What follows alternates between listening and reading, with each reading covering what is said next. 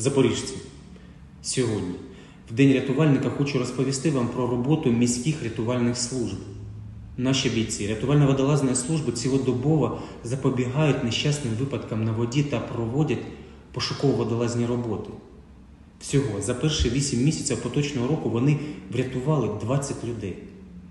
А от що стосується працівників служби відомої нам усім як Кобра, то вони допомагають і хворим, і літнім людям, і дітям, і тваринам, тобто абсолютно всім, хто цього потребує. Загалом за 8 місяців цього року вони здійснили 372 виїзди і попередили можливу загибель 78 людей та втрату державного та особистого майна містян на суму близько 2 мільйонів гривень.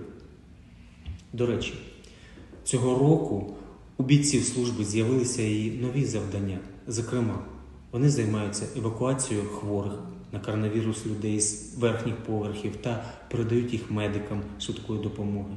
А з початку війни міські рятувальники розбирали зруйновані ракетами обстрілами будинки та заводили, зводили фортифікаційні споруди.